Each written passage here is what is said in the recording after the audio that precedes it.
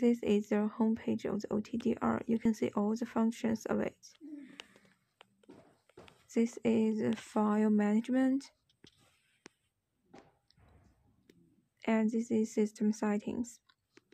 In this, you can change the brightness, the energy conservation, and the auto off time, and other basic settings like day and time, or can check the information of your machine like hardware or software version and the SN code.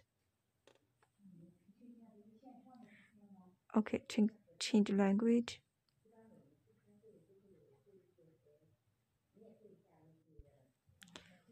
Then look the auto OTDR.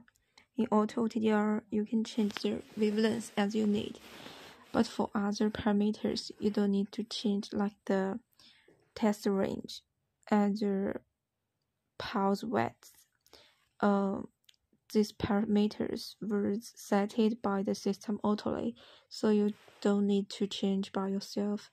So OTDR, uh, Auto OTDR is a good helper of the new guys who don't know much about OTDR function.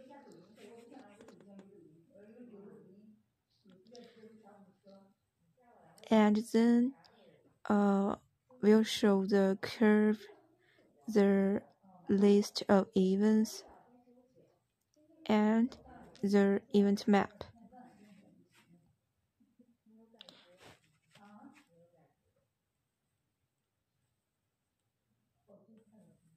Expert OTDR.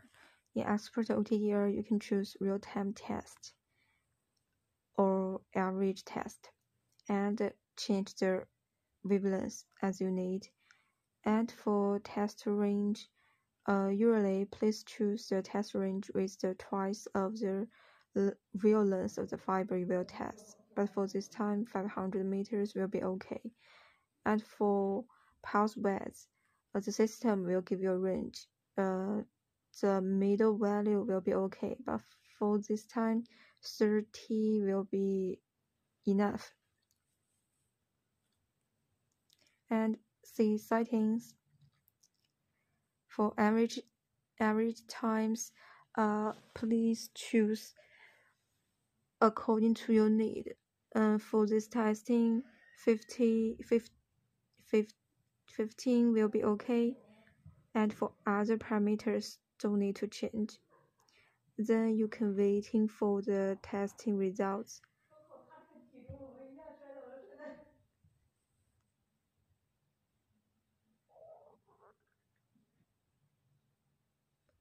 Okay, let's look at it. The list of events uh, for events and the event map. And you can uh, you can check the specific meaning of the events in the user manual for getting more details. It's very clear in the user manual.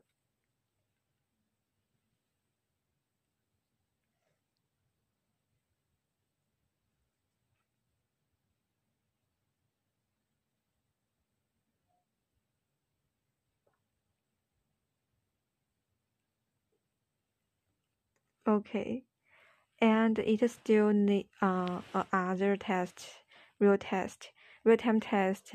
Uh, the site the parameter settings is same with average test.